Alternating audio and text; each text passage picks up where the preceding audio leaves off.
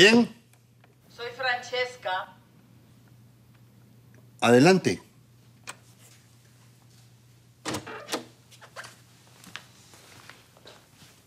Francesca, qué gusto verte. Hablemos de negocios, Miguel Ignacio. ¿Qué quieres para encargarte de la constructora? Lo quiero todo.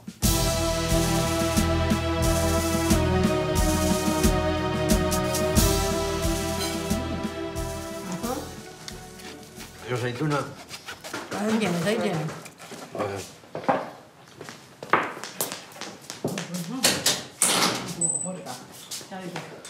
Al juguito.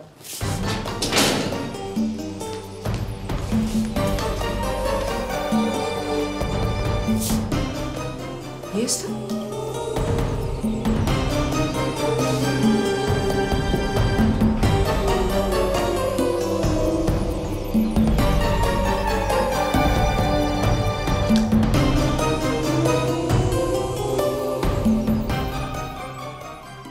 Señores, me complace anunciar que hoy damos inicio a un nuevo programa de trabajo en beneficio de todos ustedes, los internos, y con la esperanza de que se encaminen hacia su rehabilitación. Hemos aceptado la gentil propuesta de un gran profesional, un reconocido especialista, que ha decidido venir aquí todos los días a trabajar con ustedes. Bien, sin más, declaro inaugurado el primer curso OBI, Orientación y Bienestar del Interno. Recibamos con un fuerte aplauso al nuevo terapeuta del penal, el doctor Sergio Estrada.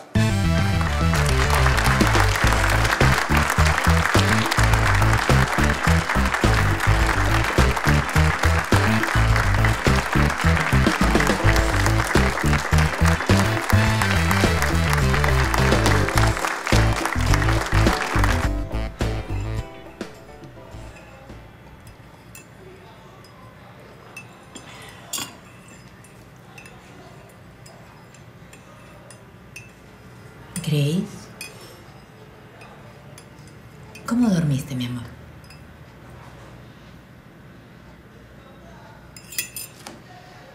Mamá, volví a soñar con mi hija. Dime la verdad, por favor. ¿Dónde está? Sabía que... que tarde o temprano te ibas a acordar.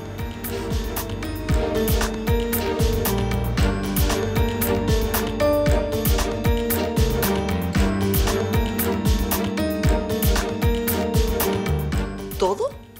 ¿Cómo que todo? Francesca, yo soy tu única opción. Sé que me necesitas. Siempre ha sido así. Si quieres volver al mundo de los negocios, vas a tener que aceptar todo lo que yo te pida. No te hagas el indispensable. Puedo buscar otras alternativas. ¿Qué alternativas vas a buscar después de que Nicolás embarró a la constructora tratando de lavar el dinero de Ángel Gaviria? Él no sabía nada de eso. No, por supuesto que no sabía nada de eso. Pero los millones de Ángel Gaviria los cegaron y yo se lo advertí. Los cegaron porque tú tampoco te diste cuenta de nada. Deja la arrogancia a un lado, ¿quieres? El que hayas tenido razón no te convierte en un dios. Y hazme una propuesta sensata si quieres volver a trabajar.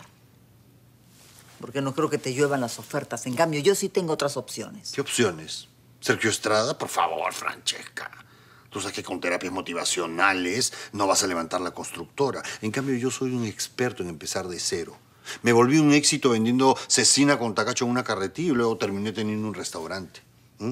Yo sí puedo hacer un éxito empresarial con tres centavos. Bueno, estoy dispuesta a escuchar una propuesta sensata. Quiero reflotar la constructora. Está en escombros prácticamente, sobre todo las oficinas administrativas. Aunque los del seguro... ¿El seguro? No me estés esperando la plata del seguro por la bomba que Claudia puso. Ellos me dijeron. ¿Que te iban a pagar? Sí. Eso no fue lo último que escuché. ¿Cuáles son tus fuentes? Tú declaraste que Claudia ya nos puso una bomba en la constructora. Así es. ¿Tienes cómo probarlo? ¿Por qué me dices eso? Porque no hay cómo probarlo, Francesca. Claudia Llanos está muerta, fue asesinada. ¿Cómo le van a hacer preguntas a un cadáver?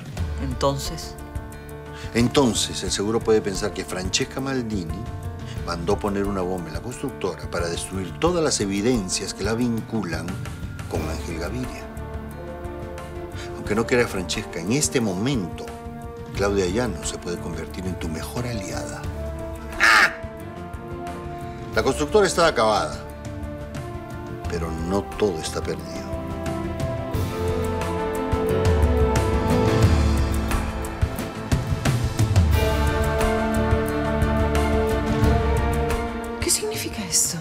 Hola, Finji, ¿qué tal? ¿Cómo estás? Nosotros nos quedamos aquí abajo y tú puedes acomodarte ahí arriba con Teresa. Y agradece que te dejamos quedarte en esta casa a pesar de ser una cómplice de un delincuente. Charo, me alegra que estés libre. Sí, sí, sí. Si no, estarías en Canadá con toda tu familia y tu amante. Qué feo, Charo, de verdad. Qué feo, qué feo ser cómplice de un delincuente, ¿ah? Perdóname, pero yo tenía que hacer lo correcto y llamé a la policía. Sí, claro, tú siempre haciendo lo correcto, lo correcto para sacar el mayor beneficio de las cosas en la medida que te sea posible, ¿no? Ni creas que te voy a permitir quedarte vivir en esta casa. ¿Ah, sí? ¿Qué vas a hacer? Perdóname, yo tengo entendido que los dueños de esta casa son el pezuñento y Lucho. El pezuñento está en cana 2 más 2, Lucho es el dueño de la casa. Bueno, ¿tú qué Teresa, reclamas? Yo no te vamos a permitir. Perdóname, pero Teresa ya aceptó calladita, ni se quejó. Ni reclamó. Bueno, también estaba más deprimida la pobre. A veces pasa sin pensar en el camino de los dos. Nos damos cuenta que hay dolor, que nos perdimos. Lluvia de estrellas, todita la noche. Tú estás Después del accidente de nuestros novios y las esperanzas que se apagan, ya no importa nada.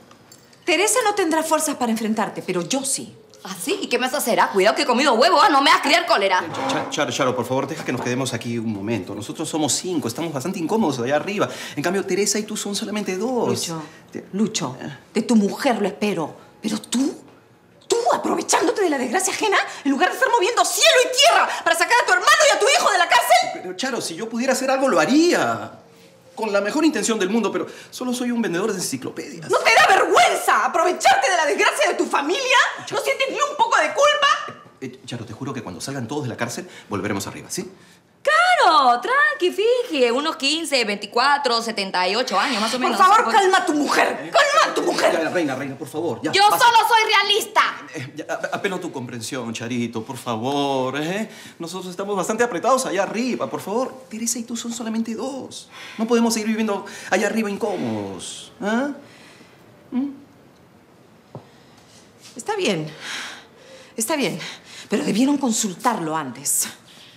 Además, esto no va a durar mucho, ¿ah? porque yo estoy segura que prontito mi familia va a salir, se va a resolver esto y vamos a volver a estar unidos como siempre. Y ahí, ahí nomás, vas a tener que regresar a tu segundo Ya, piso. muy bien, muy bien, muy bien. Mientras tanto, para tu hueco, ¿ya? ¿Qué has dicho? Que por favor tengas la amabilidad de aposentarte en tus nuevas instalaciones. No será por mucho tiempo. Voy por mis cosas. Eh, tranquila, no te preocupes. Yo ya me tomé la molestia de agarrar tus cositas, tus pertenencias y ponerlas bien bonito en tu nuevo cuarto.